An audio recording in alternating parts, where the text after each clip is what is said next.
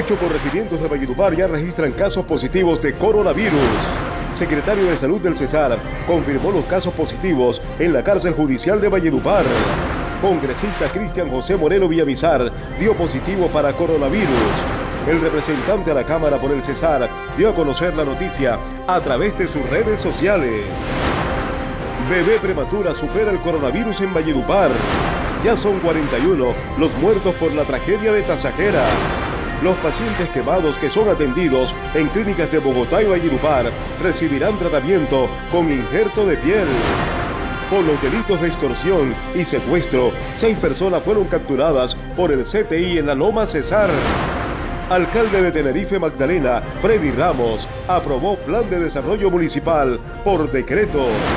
Artistas Psycho se unen para cantarle a la Guajira. Valledupar Fútbol Club completó su segundo día de entrenamiento realizando ejercicios de acondicionamiento físico. Somos RTA Noticias. Síganos en todas las redes sociales.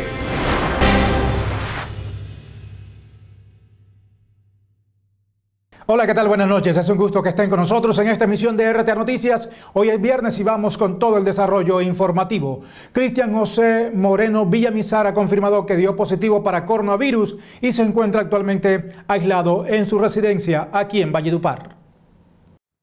El congresista cesarense del partido de la U, Cristian José Moreno Villamizar, dio positivo para coronavirus. Quiero expresarles que luego de una solicitud que hizo el partido de la U, se nos realizó pruebas a todos los representantes a la Cámara. El resultado me fue entregado en la noche de ayer jueves y resulté positivo. Moreno Villamizar, quien es representante a la Cámara, confirmó la noticia a través de sus redes sociales. Eh, esta es una prueba que, que, Dios ha puesto en mi camino, que esta situación espero eh, con fe eh, lograr salir de ella. Explicó el congresista que ni antes ni después de la realización de la prueba ha tenido síntomas. Me siento bien físicamente, bien anímica, emocionalmente. Cristian Moreno se mantiene aislado en su casa y ya ha gestionado para que quienes estuvieron cerca de él se hagan la respectiva prueba, pero que no podrá asistir si la realizan presenciales mientras mantenga el aislamiento obligatorio por recomendación médica. ¿Cuántos corregimientos de Valledupar tienen positivos para coronavirus? Aquí se lo contamos en esta nota. Ocho corregimientos de Valledupar registran casos positivos para coronavirus, según el último reporte con corte al 17 de julio de 2020. En total, esos ocho corregimientos registran 19 casos positivos para COVID-19. La Secretaría Local de Salud también reporta cinco casos positivos en un ítem denominado zona rural, pero no especifica a qué corregimiento o vereda pertenecen esos cinco pacientes. Los corregimientos con positivos de coronavirus en Valledupar son La Vega Arriba con cinco casos, Caracolí con cinco, Huacoche dos casos, Mariangola dos, Patillal dos casos, Atanques uno, Río Seco un caso y Vadillo uno. Seis de esas localidades tienen ubicación geográfica en el norte del municipio, mientras que dos están en el sur de Valledupar. El gobernador del Magdalena, Carlos Eduardo Caicedo, ha dicho que se realizarán injertos de piel a las personas afectadas por un incendio de una tractomula en el corregimiento de Tasajera. El gobernador del Magdalena, Carlos Caicedo, confirmó que este viernes llegó a Bogotá la donación de 35 mil centímetros cuadrados de piel donados por el Hospital de Scherner para niños de Galveston, Texas, con el fin de iniciar el tratamiento a los pacientes que resultaron quemados en el incendio de un camión cisterna el pasado 6 de julio en el corregimiento de Tasajera, municipio de Pueblo Viejo, Magdalena. Caicedo agradeció la gestión realizada por la Fundación del Quemado y el Banco de Piel del Instituto Distrital de Ciencia, Biotecnología e Innovación en Salud, entidad de la Secretaría de Salud de Bogotá, para la donación de pieles con la que harán injertos a los pacientes que están internados en el Hospital Simón Bolívar de Bogotá y la Clínica Médicos de Alta Complejidad del Caribe de Valledupar. El mandatario informó que el jueves les dieron salida a dos pacientes que estaban en el Hospital Simón Bolívar, quienes continuarán recibiendo tratamiento ambulatorio, mientras que los otros cuatro que siguen internados recibieron injertos de piel este viernes. También recibirán injertos cuatro pacientes que se encuentran en la clínica de Valledupar, dos de ellos de 14 y 18 años. El traslado de la piel hasta la capital del departamento del Cesar se hizo en una patrulla aérea en horas de la tarde del viernes 17 de julio. La policía del Cesar realizó el lanzamiento del plan de seguridad vial para este fin de semana con puente incluido por el Día de la Independencia. La Policía Cesar, a través de su seccional de tránsito y transporte, refuerza el control operativo vial, para lo cual estará usando elementos tecnológicos en el control de las vías del departamento para mejorar la seguridad y evitar el incumplimiento de las medidas sanitarias durante este puente festivo. Vamos a estar dispuestos en los ejes viales nacionales del departamento con el fin de brindarle, primero que todo, seguridad y tranquilidad a todas las personas que están dentro de las excepciones del decreto presidencial para transitar por las vías del departamento. La seccional de tránsito dispondrá de 200 uniformados distribuidos en 15 cuadrantes viales en la malla vial de las principales carreteras del Cesar, los cuales contarán con equipos tecnológicos como detectores de velocidad y alco o sensores con los que se realizarán los controles que permitan salvar vidas.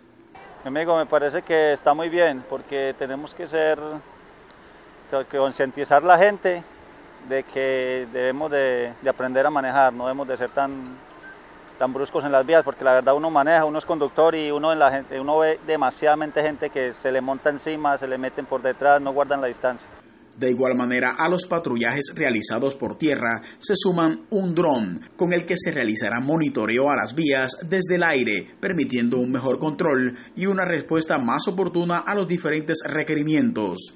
Buscamos eh, atender de una manera más oportuna y brindarle eh, oportunidades a las personas que viajan con el fin de que tengan en cuenta todas las recomendaciones al momento de realizar un desplazamiento. Otro componente con el que fue dotado la seccional por parte de la Dirección de Tránsito y Transporte de la Policía Nacional es un bus interactivo, el cual estará desplazándose por las carreteras del departamento del Cesar. En el departamento de Cesar siguen desarrollándose operativos en contra del chance ilegal y la venta de rifas no autorizadas. En allanamiento, la Fiscalía General de la Nación y unidades de la Dirección de Investigación Criminal DIJÍN dieron con organización ilícita dedicada a la venta de chance ilegal. Los cargos impuestos obedecen ejercicio ilícito de actividad monopolística de arbitrio rentístico según el artículo 312 del Código de Policía. En el lugar de los hechos fueron incautados 27 millones de pesos en efectivo, tres calculadoras inteligentes, entre otros insumos que servían para el sustento de su organización ilícita. Entre los artículos incautados se encuentran seis cuadernos con apuntes detallados y su contabilidad sobre la venta de chance ilegal en municipios como San Alberto, San Martín, Aguachica, Gamarra, entre otros municipios afectados por esta organización. Los practicantes de esta actividad ilícita pueden cumplir una condena que va de 6 a 8 años de cárcel e incurriendo en una multa de 100 a 400 salarios mínimos legales mensuales vigentes. ¿Sabe usted cuáles han sido los cinco días con más casos de coronavirus en nuestra ciudad? Esta nota muestra esas cifras. Entre el 22 de marzo, cuando se registró el primer caso positivo de coronavirus, y el 17 de julio, Valledupar ha sumado 1.066 resultados positivos para COVID-19. Durante este periodo de cuatro meses, la ciudad ha tenido cinco días en donde los casos positivos han superado la cifra de las 40 personas. El 30 de mayo se convirtió en el primer día en que Valledupar superó la barrera de los 40 casos diarios, alcanzando esa fecha la cifra de 44 pruebas positivas. El 27 de junio, Valledupar reportó 46 casos positivos para coronavirus, siendo la segunda fecha en superar la cifra de los 40 casos. La tercera fecha fue el 10 de julio, cuando la ciudad aportó 43 casos positivos al total departamental. El cuarto día con más casos positivos de coronavirus en Valledupar fue el 4 de julio pasado, con 50 muestras positivas. La capital de Cesar ha tenido en estos cuatro meses un día con el mayor número de casos positivos. Esa fecha fue el 4 de junio, con 54 casos positivos para coronavirus. Las autoridades de salud han solicitado a la ciudadanía tomar todas las precauciones para contener el coronavirus en la ciudad y bajar las cifras de positivos cada día. Recuerden que durante todo este fin de semana con puente festivo estará vigente el toque de queda en Valledupar. Comienza mañana a las 8 de la noche y termina el próximo martes a las 4 de la mañana. Una pausa y enseguida regreso con otras noticias. Llega la super quincena de Supergiros. Por cada giro que envíes o recibas, tienes la oportunidad de ganar una de las 200 super quincenas de 500 mil pesos que Supergiros tiene para ti. Y fui uno de los, de los ganadores de, este premio, gracias a Supergiros, y espero que sigan participando más. Ahora, ahora con mucho más, porque veo que es verdad, no es mentira, porque a veces ponen personas fingidas, pero en este caso, gracias a Dios, yo nunca había ganado nada.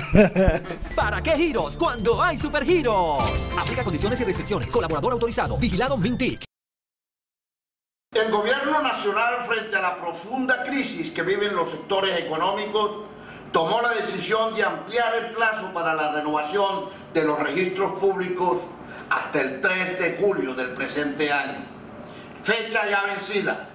La Cámara de Comercio de Bayupar para el Valle del Río Cesar convoca a todos microempresarios y empresarios a cumplir con esta obligación legal para evitar las sanciones que impone la Superintendencia de Industria y Comercio que pueden llegar hasta los 17 salarios mínimos legales mensuales vigentes al momento de imponerse la sanción. Corra y renueve su registro mercantil. Resplandece, la nueva colección de María Carolina Orozco. Para mujeres resplandecientes. En Endupar vamos por más. Cada día nos esmeramos por brindar continuidad y calidad en la prestación del servicio de agua. Pero necesitamos tu aporte para seguir en esta labor. Solo tienes que pagar oportunamente tu factura. Esto se verá reflejado en obras de optimización para que nunca falte el líquido vital en tu hogar. Endupar es de todos. Seguir trabajando por ti es darte la opción de realizar tus trámites sin salir de casa. Para esto, Electricaribe cuenta con una oficina virtual y un chat en la página web electricaribe.co. Además, puedes descargar la aplicación móvil Electricaribe o usar nuestra oficina telefónica marcando 115 desde celulares o fijos. Cuidémonos, quédate en casa. Electricaribe somos todos. Somos una familia y queremos decirte, quédate en casa para que puedas vivir la vida que siempre soñaste. Aprovecha estos momentos para que disfrutes con los tuyos. En Confacesar te acompañamos y seguiremos ayudándote a cumplir tus sueños de estudiar, viajar, tener un techo propio y disfrutar experiencias inolvidables. Muy pronto la vida será como antes y desde Confacesar juntos seguiremos cumpliendo tus sueños.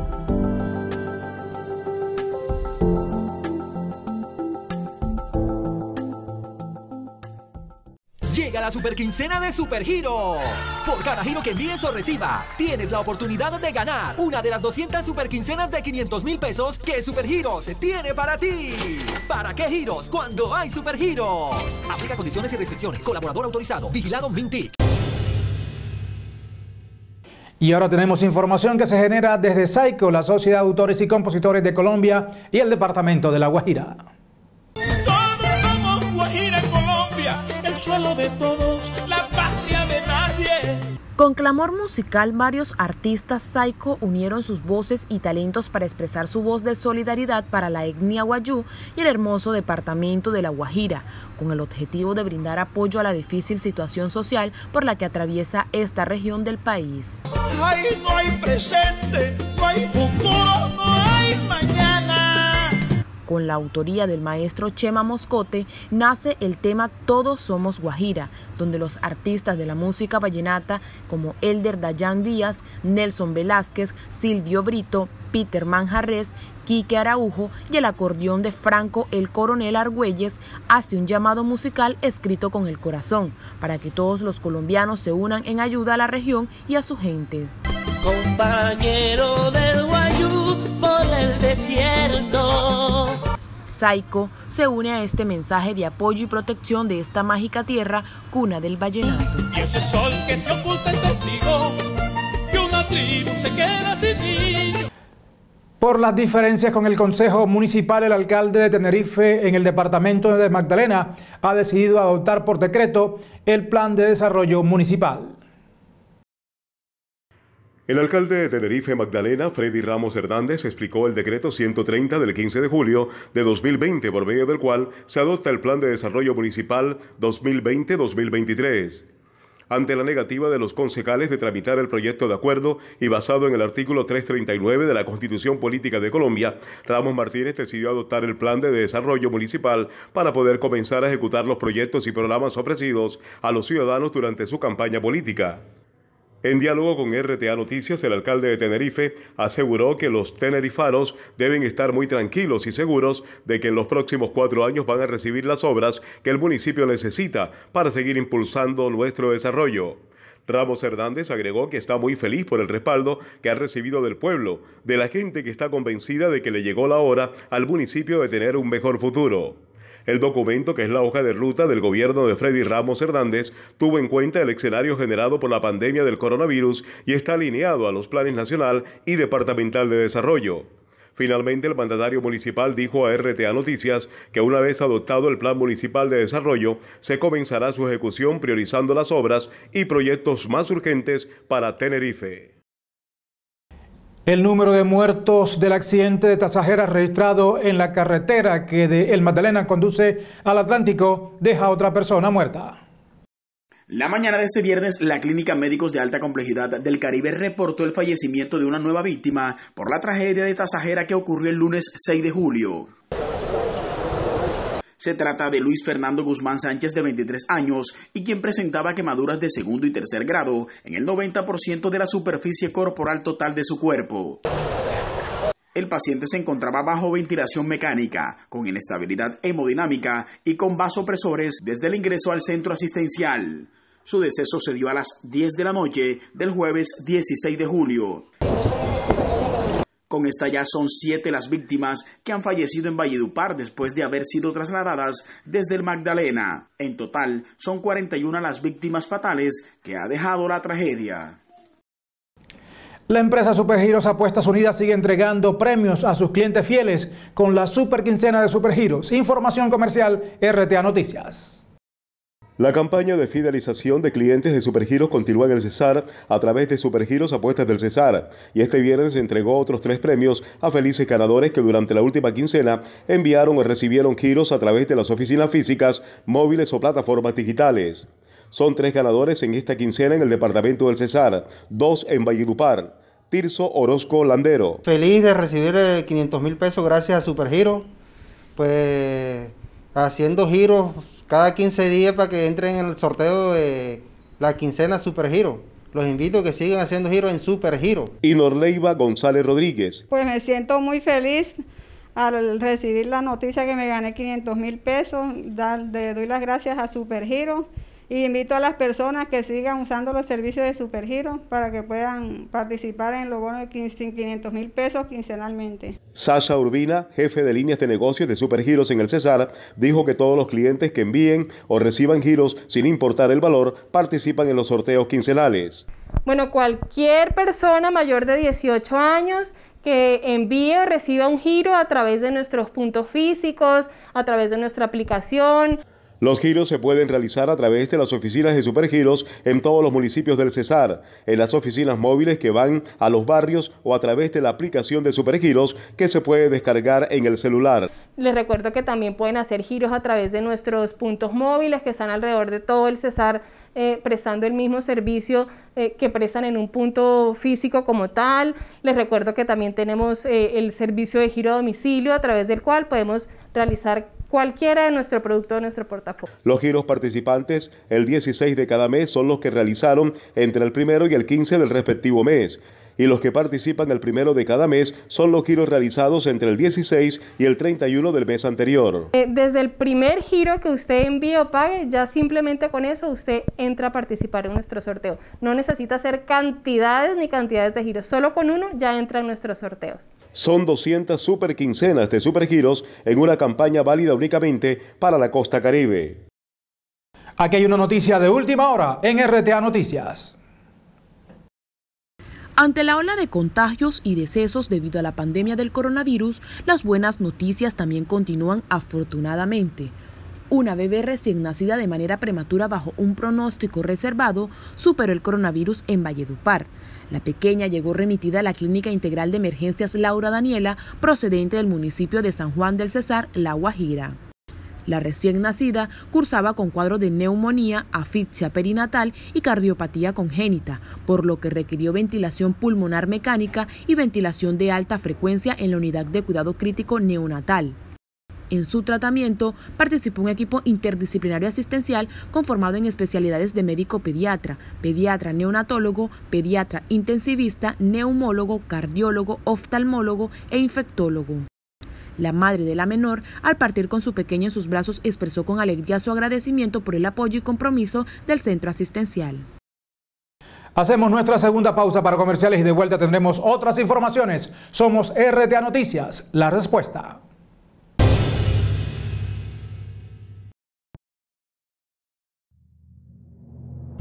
Albert, Landy, María Ángel, Eduardo, Jaime, Madi, Adriana, Freddy, Lorena, Iván, Dayanis.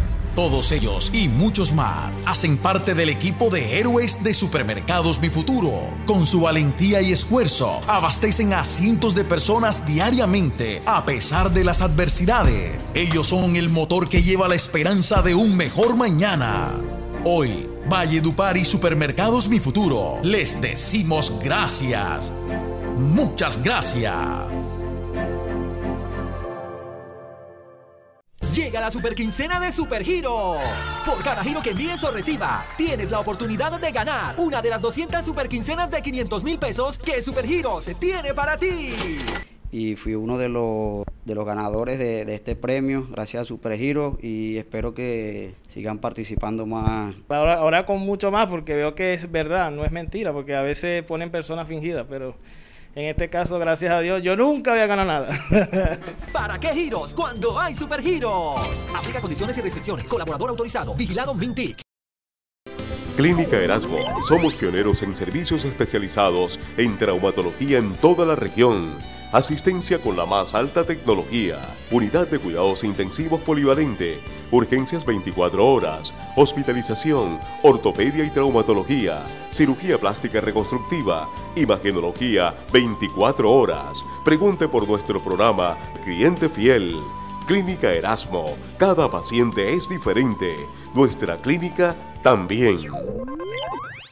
Constructora Carvajal y Soto entregará próximamente las dos primeras torres del moderno edificio Las Cayenas, ubicado en la zona de mayor desarrollo urbanístico de la ciudad. Las Cayenas, un edificio progresivamente inteligente, con cuatro torres, amplios espacios y acabados espectaculares. Te mereces lo mejor. Te mereces vivir en Las Camelias, el nuevo proyecto urbanístico de Carvajal y Soto 33 espectaculares apartamentos para vivir bien. Otro proyecto exitoso de constructora Carvajal y Soto.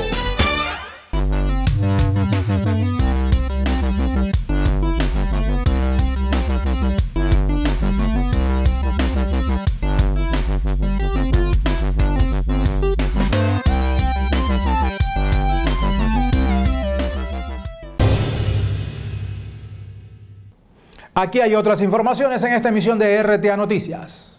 Bueno, se tomaron alrededor de 250 muestras entre las dos penitenciarías eh, y hoy de la cárcel judicial, de las primeras 100 muestras procesadas, tenemos 58 resultados positivos, de los cuales 8 hacen parte del área administrativa y 50 hacen parte de, los, eh, de las personas privadas de la libertad. Ante eso, ya se están coordinando estrategias con la directora encargada para poder aislar a cada una de esas personas en un sitio adecuado que permita detener ese brote que hoy tenemos en la judicial. La Fiscalía General de la Nación conmemoró hoy el Día del Investigador Colombiano. Tenemos un gran reto, un reto para todos nuestros investigadores, nuestros analistas, nuestros peritos, nuestros agentes de seguridad, nuestros conductores, nuestros analistas de comunicaciones, nuestros investigadores y administrativos. Todos los que están en sus casas hoy con este confinamiento que vamos a superar. Vamos a superar porque somos una sociedad que, lo, que puede avanzar en ese escenario con tranquilidad y vamos a superar ese estadio de dificultad humana que estamos viviendo. Pero al mismo tiempo vamos a superar las dificultades y los obstáculos que se nos han venido presentando también en la entidad. Tengan la convicción, y no es en vano, que el aporte que se hace por parte de la Fiscalía y del Cuerpo Técnico de Investigación engrandece esta nación. Que cada vez que yo me levanto, que cada vez que yo reflexiono sobre mi rol en esta entidad, me siento orgulloso como colombiano de pertenecer a ella y de servirle a ella. Si mi vida tiene que ser dejada aquí, la dejaré. Pero debo decirles que con toda la fortaleza, con todo el decoro y sin doblez, vamos a seguir adelante en esta Fiscalía General de la Nación y ustedes, el cuerpo técnico de investigación, como socios, le daremos mejores alternativas a este país de justicia, de dignidad, de moral, para demostrar que somos capaces. Estas son nuestras historias de vida hoy con José Gabriel Jaramillo. Hola, hola, hola, hola, hola, ya. José Gabriel Jaramillo, motivador y conferencista para RTA Noticias. Un padre y su hijo se fueron para el campo. Estaban caminando cuando de pronto empezaron a oír un ruido de pra, pra, pra, pra, que venía como a lo lejos. Entonces el chico le dice, papá, ¿eso qué es? Y le dice, mi hijo, eso es una carreta. Papá, ¿y cómo sabes que es una carreta? Y le dice, pues porque yo conozco ese sonido. Además, la carreta viene vacía. Dice, papá, ¿por qué? ¿Por qué sabes eso? Y le dice, porque cuando las carretas están vacías, hacen mucha bulla, pero cuando están llenas, el peso hace que el ruido disminuya. Mire, queridos amigos, así nos pasa en la vida real. Mientras menos espiritualidad tengamos, mientras menos valores tengamos, más bulla hacemos, más gritones somos, más peleoneros somos, más agresivos somos en la medida en que vamos metiendo cosas positivas dentro de nosotros, vamos cambiando nuestros pensamientos, nuestra forma de hablar, la vida se va a encargar de irnos mejorando todo lo que pasa en nuestro entorno. De la agresividad no queda nada. La palabra suave calma la ira, dice la palabra de Dios. La palabra suave calma la ira. Y si a usted una persona viene a pelearle, a regañarlo, y, y usted simplemente le dice, cuando se calme hablamos y se va, las cosas no van a pasar a mayores. Pero si usted se entrenza en esa pelea, usted va a ser como la carreta, que suena cuando está vacía. Estas son historias de vida del IPS Hombres de Bien y la Clínica San Lucas de Valledupar para una vida mejor. Que tengan el mejor de lo mejor de los días y que la felicidad los atropelle. Chao. Llegamos al final de esta emisión de RTA Noticias. Vamos a regresar el próximo martes con más. Recuerden que durante todo el fin de semana estaremos en nuestras plataformas digitales entregando información actualizada, información permanente. Muy buenas noches. Recuerden izar el próximo lunes nuestro pabellón nacional por el Día de la Independencia.